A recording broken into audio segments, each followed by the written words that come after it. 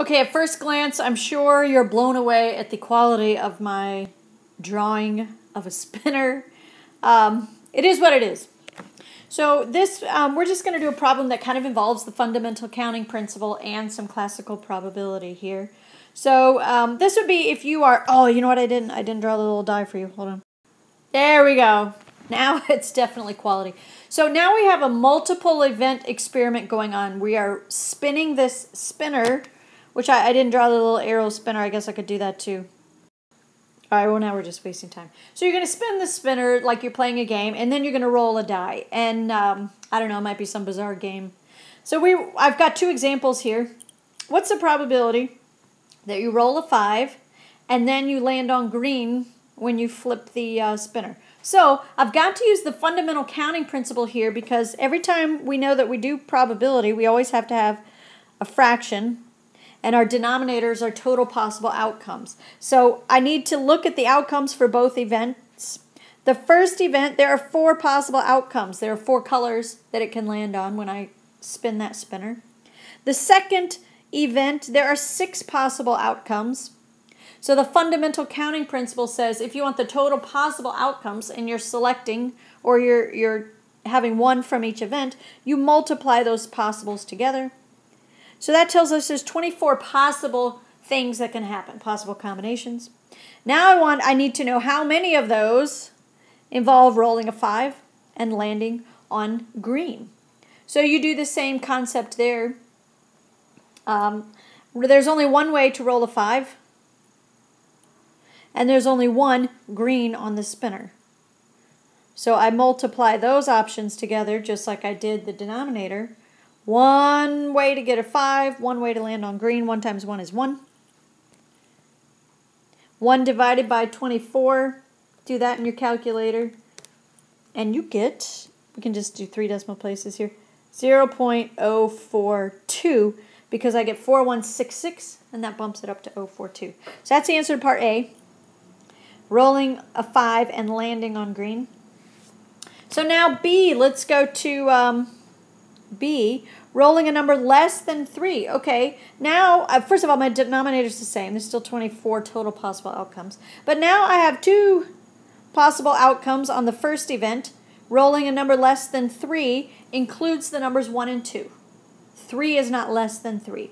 So rolling a number less than 3, there are two ways I can do that. I can roll a 1 or a 2, so there's two of those. Landing on yellow or red. Now there's two Possible ways to make that happen, land on yellow or land on red. So there are four different scenarios where I could roll a number less than 3 and spin the spinner and have it land on yellow or red. Out of 24 possible outcomes, and so I get, as a final answer, I got to scoot so I got room to write it, 0.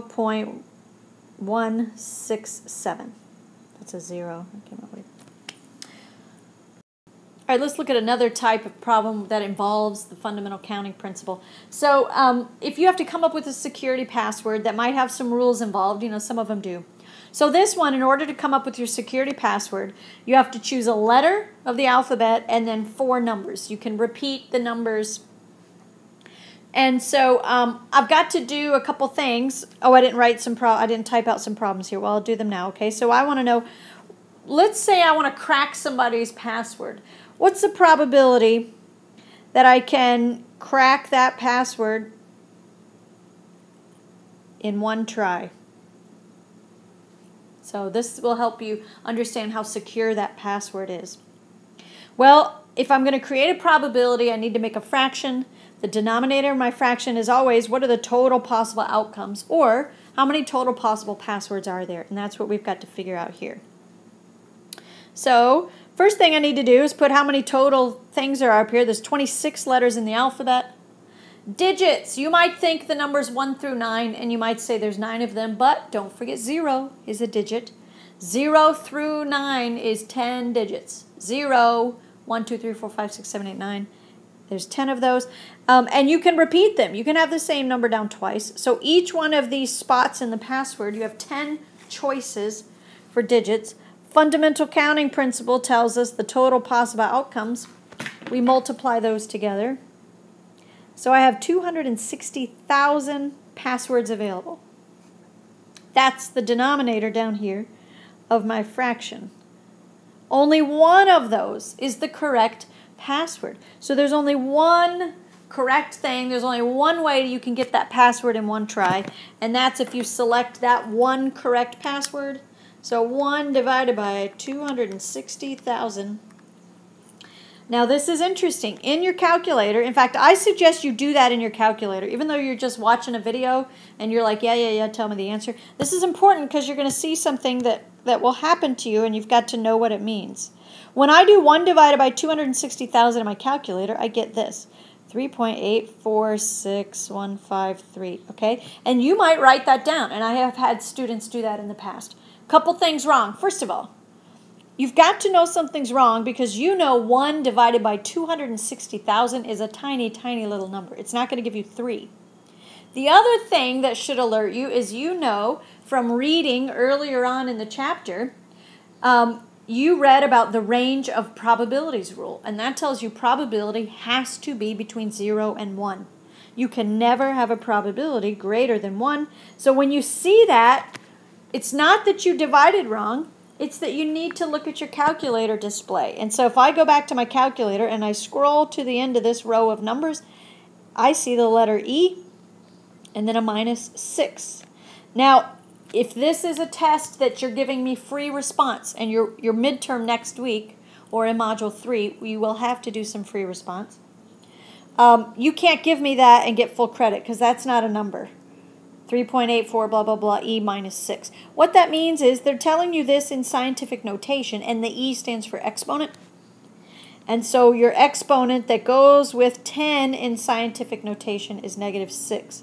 So this is the number 3.85 if I round to two places times 10 to the negative 6. That's an acceptable answer. That's scientific notation. Or you can go ahead and convert that to a standard number.